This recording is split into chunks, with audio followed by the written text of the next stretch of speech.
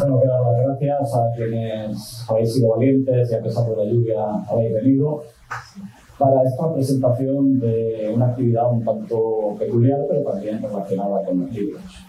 En este caso se trata de presentar a los ganadores del concurso de Granando Comics en su cuarta edición, que eh, bueno, pues hemos organizado entre la Estación Experimental de Fading y la Asociación Hablando de Ciencia.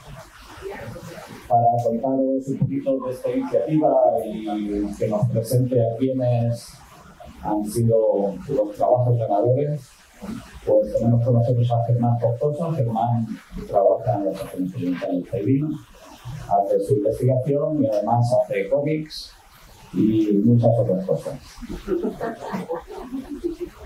Algunas no las puedo decir aquí porque me las acaban de contar. Y...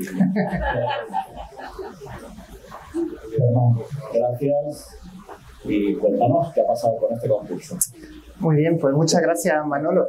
Eh, bueno, lo primero de todo, pues eh, agradecer a, bueno, la Feria del Libro, a los compañeros de, de, que gracias a ellos tenemos esta oportunidad de estar aquí, eh, compañeros del CSI, de Parque de la Ciencia, Instituto de, de Física Andalucía y, lógicamente, la Estación Experimental del CEIDIN, pero en especial a Manolo y a Emilio, que son, digamos, los alma mater de, de la divulgación científica, al menos en la Feria del Libro y en, muchas cosas más.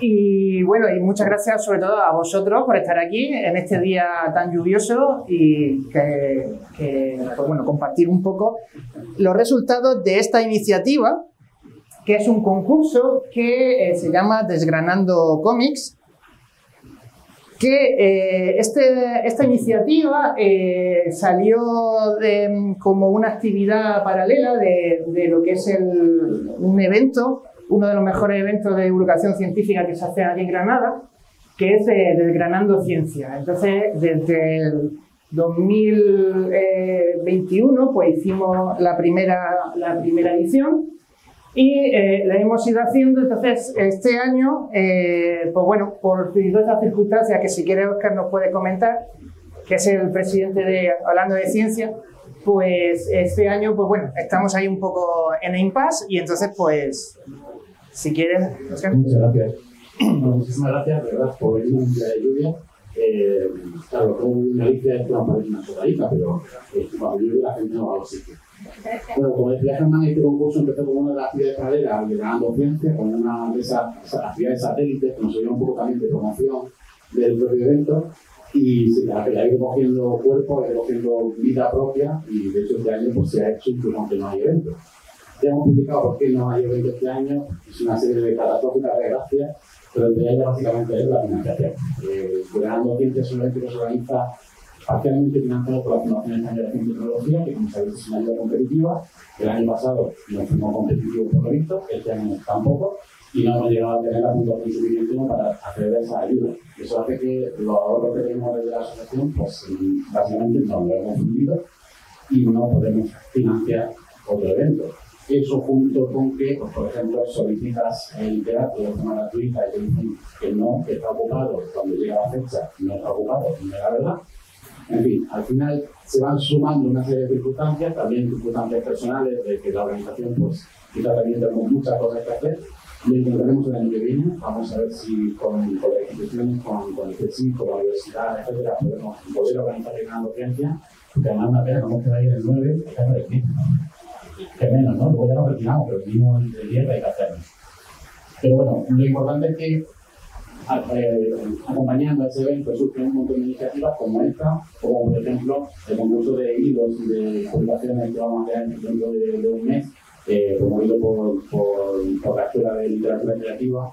Eh, bueno, son actividades que surgen en paralelo, pero que tienen vida propia, que es importante que se sigan haciendo y viendo la calidad de los juegos que se han presentado, pues eh, la verdad es que merece la pena seguir haciendo. Así que muchísimas gracias, Germán, sobre todo seguir tirando de, de este carro. Y nada, vamos a ver. Bueno.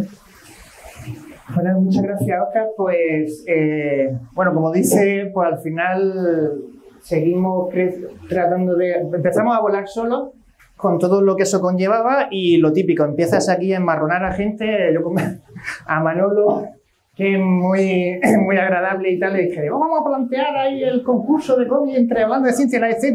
Y bueno, al final lo engañé y bueno, también a Matilde que le engañé también como va a estar en el jurado, bueno, y un montón de gente más. Pues bueno, pues eso, este año pues hemos volado solo, teníamos mucha iniciativa, mucha incertidumbre, pero ha ido muy bien, ha ido muy bien y, bueno, y, como todos siempre hay que agradecer eh, a los patrocinadores y colaboradores, en este caso al proyecto de Ciencia en Com, que está muy chulo, ¿eh? Os lo recomiendo. a la Asociación de Autores de Cómic de España, a la tienda de discos de Subterránea y a la Sociedad para el Avance de Pensamiento Crítico ARP por su apoyo y colaboración. Si hay alguien en la casa, en la sala que quiere colaborar económicamente para la siguiente edición, por favor, que le dé un toque. Y bueno, y como buen científico, pues siempre nos gusta tener números y datos y un poco lo que quiero yo desgranar, valga la redundancia, eh, son los metadatos del concurso. Eh, se han presentado 30 trabajos eh, dentro de dos categorías. La categoría que se llama PINSA porque es de mayores de edad y la de la de menores de edad que se llamaba Semilla. Eso fue un total de 88 páginas que eh, dibujadas y, diseñadas por 38 eh, autores, un 61% chicas y el 39% de, de, chicos. Presentaron trabajos desde diversos lugares, como puede ser Granada, Islas Baleares, eh, Madrid, Santa Cruz de Tenerife, Jaén, San Sebastián, Ponferrada, Orense, Alicante, Barcelona, León, y Santiago de Chile, México, eh, Islandia y Venezuela, para que veáis que eh, es un concurso que empieza a ser ya cada vez un poquito más internacional. Como decía, también eh, estos son los perfiles de los autores que se han presentado.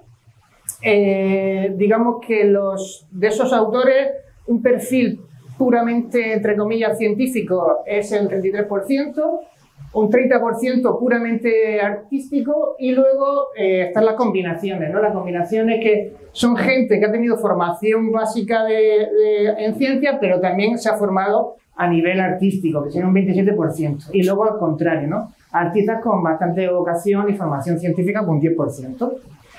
Y, estos son los, eh, los, jurados. Em, estos jurados, estas seis personas, estos seis compañeros, eh, tuvieron que evaluar eh, cinco, cinco, categorías, o sea, se evaluó la originalidad, la calidad artística, el rigor científico, la capacidad narrativa y la capacidad divulgativa. Si no los conocéis, pues bueno, mi querido y, admirado Jesús Sánchez y Cirenia Arias eh, son dos profesionales del mundo de la ilustración y el dibujo del cómic eh, Álvaro Pons es de la Universidad de Valencia, es físico, pero también es uno de los mayores académicos del mundo del cómic que tenemos ahora mismo en España. Gerardo Costea, que es compañero de Hablando de Ciencia, divulgador y también profesor. Y luego, pues, mi querida Matilde Isabel Seiker como eh, científica de la, de la EZ. Y bueno, eh, vamos a ir, digamos ya, desgranando, presentando a los ganadores. Como podéis imaginar, no o sea, yo lo, hubiese premiado todo, pero claro, como no tenemos dinero, pues bueno, hemos hecho un montón de, menciones, menciones específicas, al menos algunos salen en, el libro, que ahora si queréis luego podéis coger.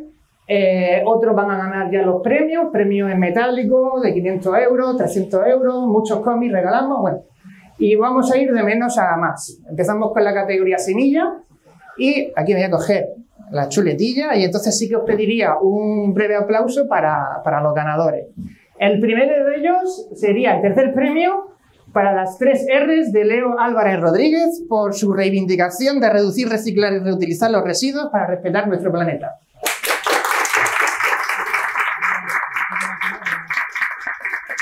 El segundo premio es para el, un viaje al futuro, ciencia, ciencia ficción, de Samer Neteife por su lucha para mejorar el presente para tener planta en el futuro.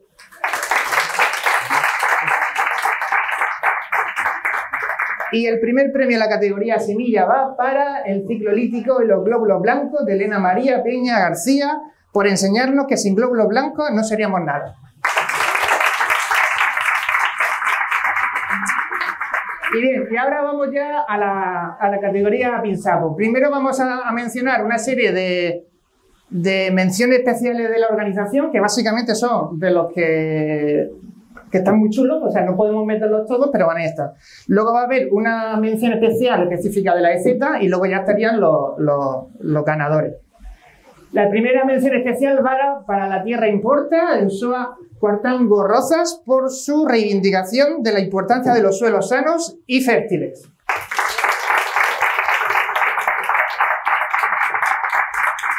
La segunda mención va sobre, para el cómic sobre el maíz en general y el olotón en particular de Flor Buga, por mostrarnos la importancia de conservar las variedades vegetales autóctonas de México.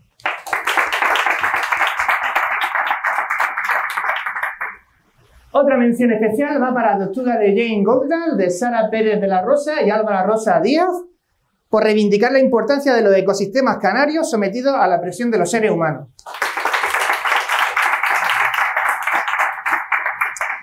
Y la última mención especial va para la doctora Ana, Salvando el Futuro, de Manex San Sebastián y más, por su tesón en la investigación sobre la, celulosa, sobre la celulosa bacteriana para proteger el medio ambiente.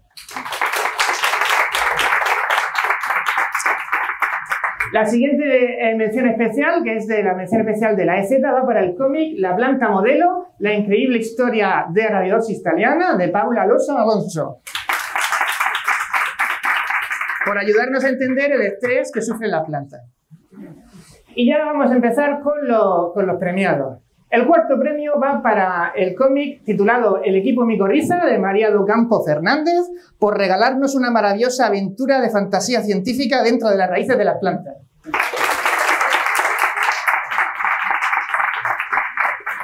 El tercer premio va para un viaje circular de Cristina Sala Ripoll y Susana Hernández Sáez por maravillarnos con el viaje de una molécula de agua por el mundo. El segundo premio va para Lara Jones y el misterio de las plantas de piedra de María Victoria García Martínez y José María Pérez Codón, por mostrarnos cómo podemos hacer arqueología con plantas gracias a los fitolitos.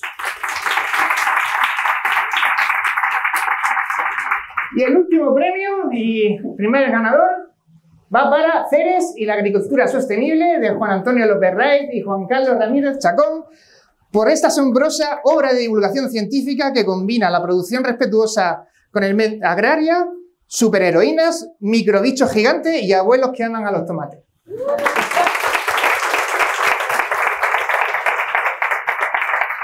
Y ya para finalizar, solamente decir que el, año pasado eh, conseguimos, hicimos también otra, otra actividad que aquí he traído también a alguno, por si luego Manolo quiere repartirlo, y es que con los ganadores de la, edición anterior eh, hicimos un libro de divulgación científica en cómics sobre, la, digamos, reinterpretando el universo de García Lorca bajo el prima de, la ciencia. Y nada, muchas gracias a todos por, por, venir. Decir que en la página web del evento y a lo largo de este fin de semana, pues ya subiremos todo el fallo y incluso podréis descargar el libro en formato PDF por si queréis tenerlo y leerlo. Nada, muchas gracias a todos.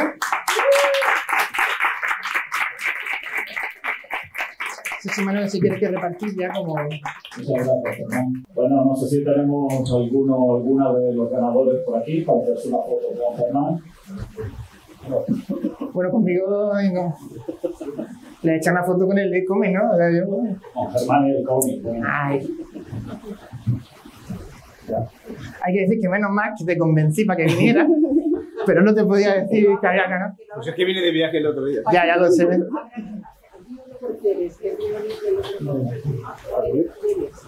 ¿El tuyo, el tuyo? Bueno, ahora háblanos de tu cómic, ya que estás aquí. Bueno, pues a hablar de mi libro, ¿no? bueno, muchas gracias, muchas gracias a los organizadores y, bueno, en particular a, Germán por la excelente labor que hace divulgativa. Y además me parece, bueno, ya hace tiempo que empezamos a hacer algunas cositas juntas también, hicimos algún cómic, eh, empezamos un carotenoides y demás, y creo que es una forma maravillosa de divulgar la ciencia llegar a la gente, llegar a los niños, que además son el futuro, y es una, una misión importantísima. Enhorabuena a ti en particular y, bueno, a todos los colegas y compañeros que, que se dejan engañar tan fácilmente por, por esta tan importante.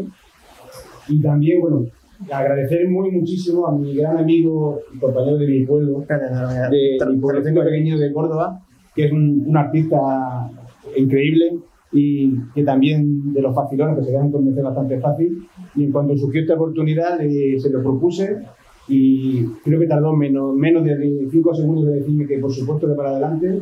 Y bueno, al final eh, creo que era un trabajo bastante chulo. Lo importante es que el mensaje llegue y que llegue a todo el mundo y sobre todo que llegue a los niños, como decía antes. Así que muchas gracias y gracias también Juan Carlos por este premio tuyo.